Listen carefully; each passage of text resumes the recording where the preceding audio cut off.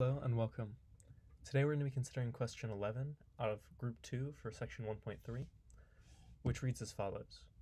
If V is an n-dimensional real vector space, show that the kernel of any non-zero linear transformation T from V to R is a linear subspace of dimension n minus 1, and conversely that any such linear subspace is the kernel of some linear transformation T from V to R.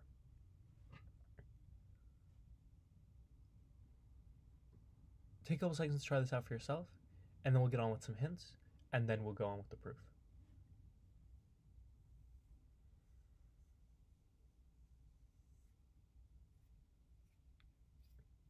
Alrighty, for some hints. We've got two statements to prove, so you should try to split up into two different statements. And um, for the first part, the hint is that you should look at the theorems that we've proved uh, in this section and see which one is most relevant to considering the dimension of certain subspaces. And for the second one, try to take a look back at the proofs of some theorems and see if there's any thoughts that are useful here. In particular, look at thoughts about extending uh, the bases of subspaces into the bases of spaces.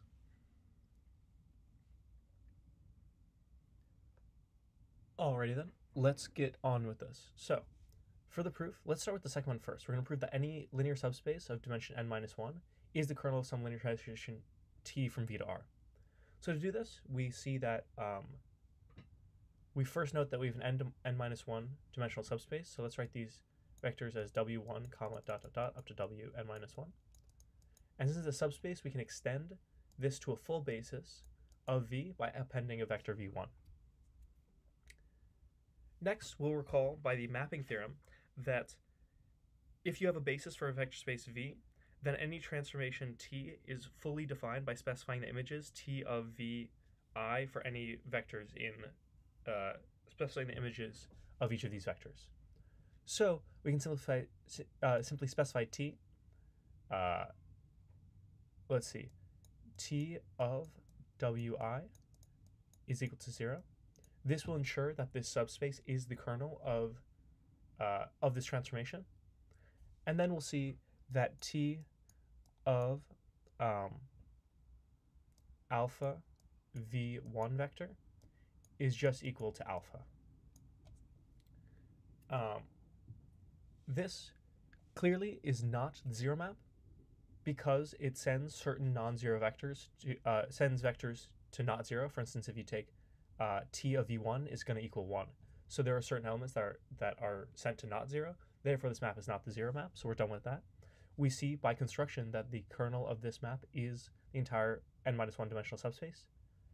And we see this goes into R because it outputs uh, scalar, or if you think about this either as a scalar or alpha times E1, where E1 is just the element 1, is the only basis vector of R, if you consider R as a vector space for a second. I'm sure you actually should do that. You should use this alpha E1, where, alpha, where E1 is just the number 1 in the real numbers, because remember, linear transformations are between vector spaces. So with this, we've constructed, we've shown that any linear subspace, excuse me, any linear subspace of dimension n minus one is the kernel of some linear transformation t from v to r.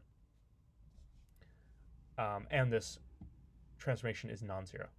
Great, so we've proven the second half. Let's prove the first half.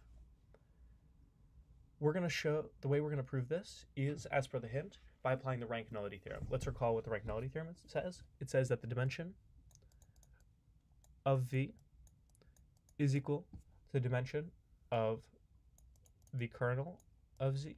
I'm sorry, the null space of Z is perhaps a better way.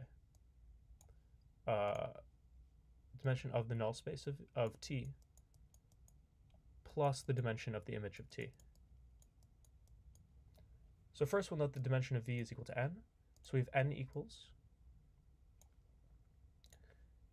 n equals and we're going to call this the nullity of t, because nullity meaning the dimension of the null space, nullity of t plus the rank of t. And this is just simply the definition of the rank nullity theorem. Next, we'll note the rank of t is less than or equal to 1,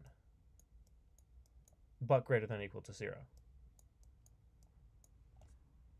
This is because um, the output space is only one-dimensional, and the image of a space cannot be larger than the space itself.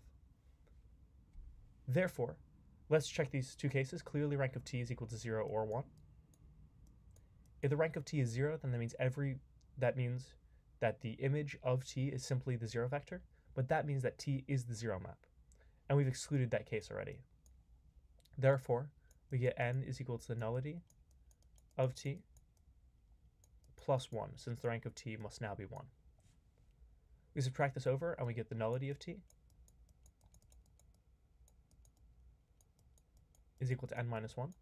And recall the nullity is the dimension of the null space, or the dimension of the kernel. But now the dimension of the kernel is n minus 1.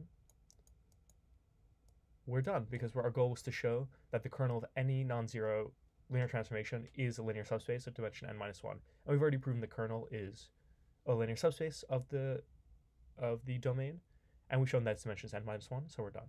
With that, thank you for watching.